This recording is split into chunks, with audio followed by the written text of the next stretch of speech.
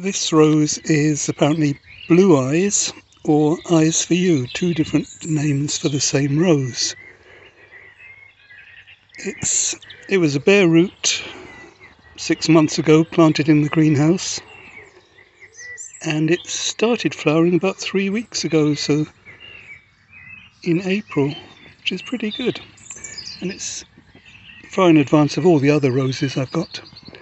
Uh, quite big.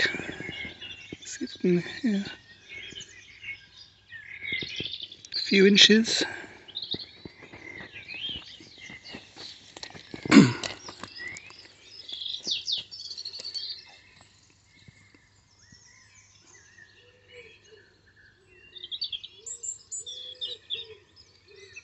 tends to have these white bits in the centre which have to unfold, which is a bit of a pain but we can live with that.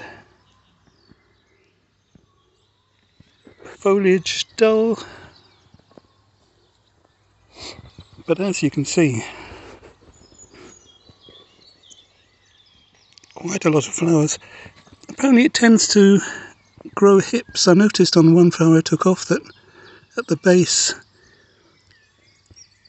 there was a bulge as if a rose hip was forming there. So they advise you to cut those off quickly.